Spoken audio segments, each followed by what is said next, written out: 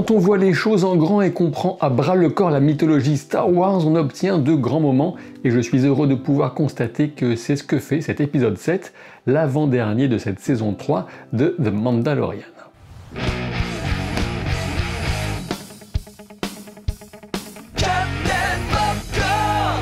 L'épisode est coécrit par John Favreau et Dave Filoni et réalisé par Rick Famuyiwa, un vétéran de la série maintenant, et qui signe sans doute ici son épisode le plus visuellement abouti. Vous n'êtes pas sans savoir que de nombreuses annonces ont été faites quant au futur de Star Wars. Parmi les films à venir, l'un sera réalisé par Dave Filoni et servira de conclusion et de confluence entre les intrigues des séries The Mandalorian et dérivées, notamment Ahsoka qui arrive en août sur Disney+. La saga se tourne aussi vers le futur, enfin avec le retour de Rey dans la création d'un nouvel ordre Jedi, une idée plutôt excitante, mais pas autant, peut-être, que le projet de film de James Mangold qui reviendra aux origines avec l'histoire de la découverte de la Force et du tout premier Jedi dans une fresque inspirée de films bibliques tels que les Dix Commandements, tout un programme.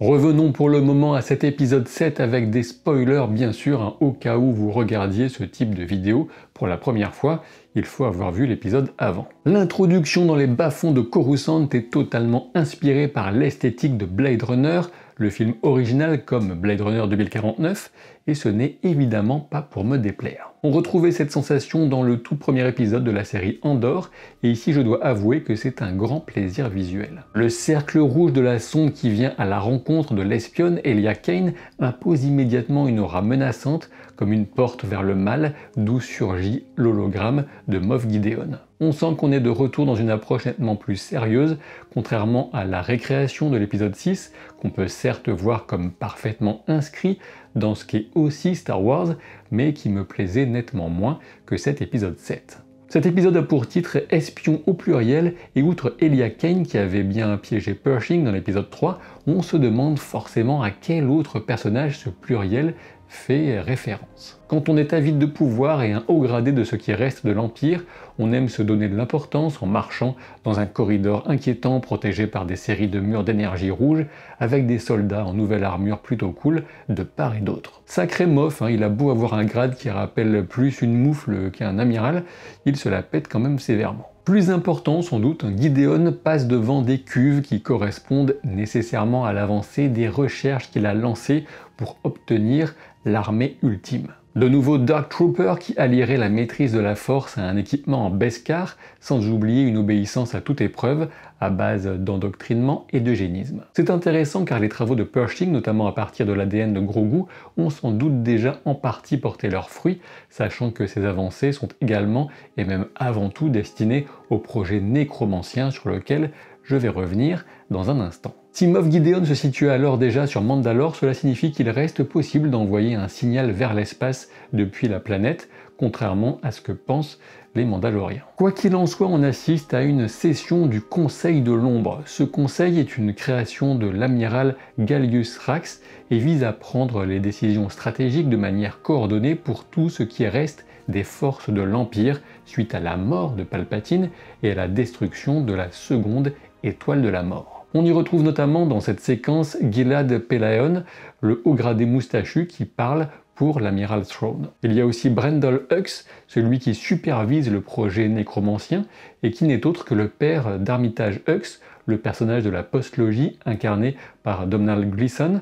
On peut remarquer que Brendel Hux est ici interprété par le frère de Domhnall Gleeson. Je n'ai pas l'identité de tous les autres membres de ce conseil, mais disons que ce ne sont pas des gens très recommandables. De rien. La mention directe de l'amiral Throne n'est pas une surprise en soi, mais elle fait plaisir, on sait qu'il apparaîtra dans la série Ahsoka et que c'est Lars Mikkelsen qui l'incarnera physiquement après lui avoir déjà donné sa voix dans la série d'animation Rebels. Le projet nécromancien fait bien évidemment référence au projet de résurrection par clonage et transfert de mémoire de la bidouille de l'empereur Palpatine.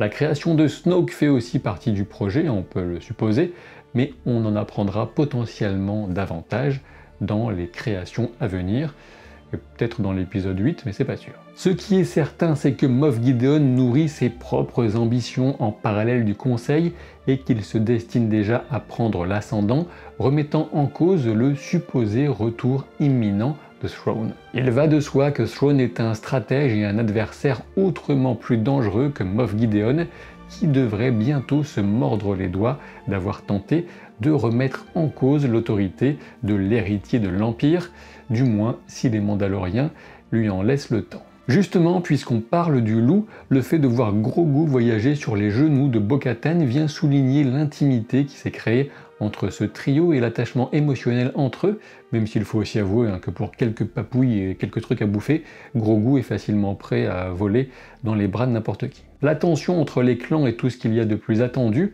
On remarque les casques de cuir que portent les jeunes, une façon de signifier leur adhésion à une version intégriste du credo, avant même d'avoir pu passer par la cérémonie leur permettant d'obtenir leur fameux casque de Beskar. On revoit un instant le fils de Prévisla. Attention puisque je prends conscience que j'ai appelé Paz Visla Prévisla pendant le reste de la vidéo, hein, j'en suis désolé, pas la peine de me faire 8000 commentaires à ce sujet. On parle bien de Paz Visla et pas de Prévisla qui existe aussi mais euh, qui est plus ancien, c'est pas le même qu'il charge de mettre les plus jeunes à l'abri, justement, et ce rappel de sa présence sert aussi à souligner que ce nom Visla perdurera malgré le final tragique de l'épisode. La séquence d'IG-12 avec Grogu m'a littéralement fait éclater de rire tout seul devant mon écran, et je peux vous dire que ça n'arrive pas si souvent, même si dans le fond, je suis un sacré petit rigolo. En gros, on a foutu Grogu dans un exosquelette avec deux boutons, un cauchemar de parents et un rêve de spectateur, en tout cas pour ceux qui apprécient ce genre de petit délire autour du personnage le plus mignon de toute la galaxie. Ensuite, une scène de demande de volontaires pour une mission aussi dangereuse qu'honorable, voilà qui est toujours la garantie du succès avec moi, hein, comme les Ferrero Rocher aux réceptions de l'ambassadeur. La photographie de toutes ces séquences d'approche de Mandalore fonctionne à merveille avec une flotte bien mise en valeur, de même que les impressionnants Mandaloriens en mode commando para. L'arrivée d'un navire glissant de survivants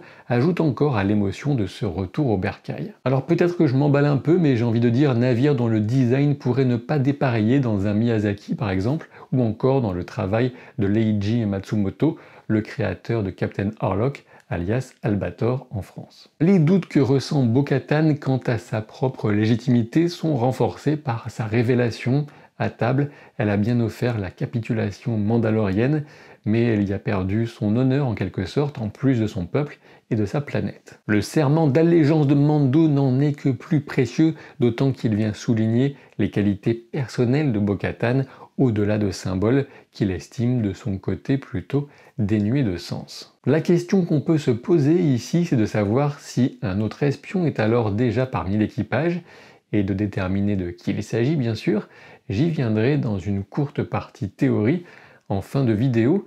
En tout cas, hein, pour celles et ceux parmi vous qui préfèrent se laisser porter et ne pas trop jouer aux devinettes à l'avance, eh bien ce sera facile d'éviter cette partie de théorie. Ce qui est essentiel dans le combat entre Axe pour Homme et Prévisla, c'est bien sûr l'intervention de Grogu. Bah oui, que la sagesse leur soit inculquée par un enfant doit aussi participer à leur faire prendre conscience de l'ineptie de leur combat. La série renoue rapidement avec son appétit établi pour les créatures démesurées, avec une bête véritablement digne des kaiju, capable de détruire leur navire comme s'il était fait d'allumettes. Un peu trop pratique hein, peut-être, mais une façon aussi de nous rappeler le gigantisme de certains monstres et de préparer le terrain pour le mythosaure à n'en pas douter. La découverte de la forge et surtout de l'implantation des troupes de Moff Gideon au cœur même de la planète vient ajouter une nouvelle insulte à ce qui était déjà un génocide atroce, on peut dire que l'ambiance est à la fête des voisins. Et au passage, on a bien le fin mot au sujet de la trouvaille du patrouilleur de la Nouvelle République,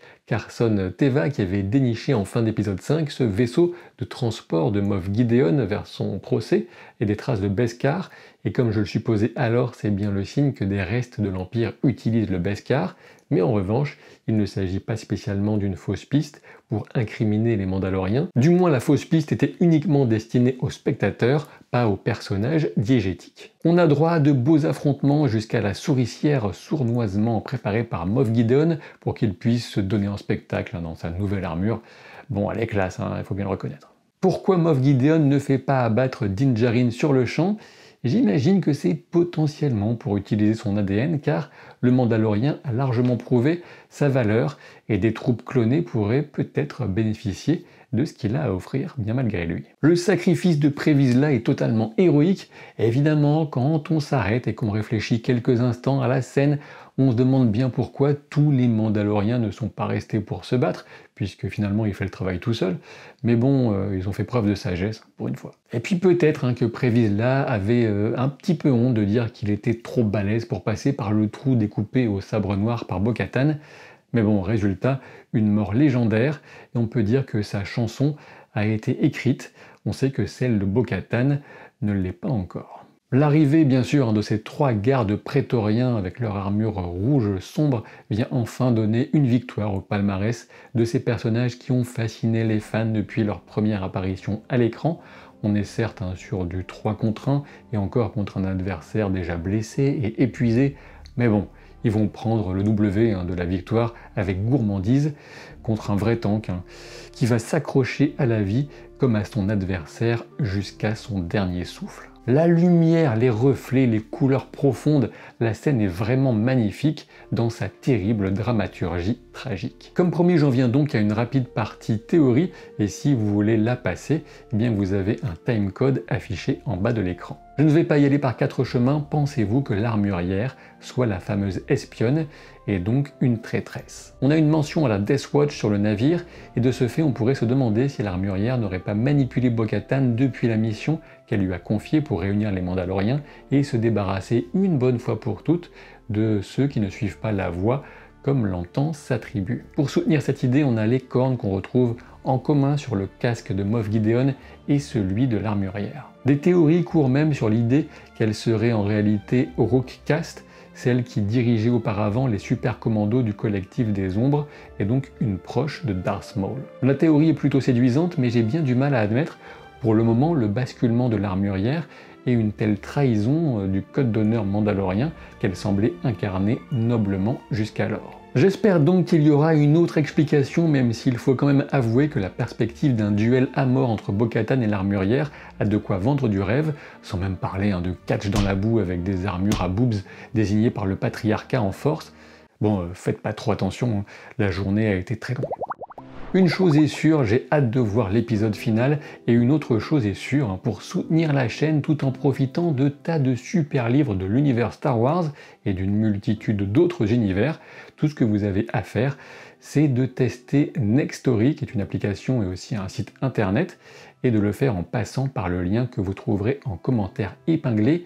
Il suffirait qu'une centaine d'entre vous, hein, parmi les 40 000 personnes environ qui vont regarder cette vidéo, prennent un petit peu de temps pour profiter de ce contenu en plus, hein, avec des livres audio, des bandes dessinées, etc. Il suffirait qu'une centaine d'entre vous le fassent et ça soutiendrait vraiment pas mal mon travail. Donc euh, si vous pouvez prendre le temps, ce serait super cool. Et quoi qu'il en soit, je vous dis à très vite pour de nouvelles aventures. Salut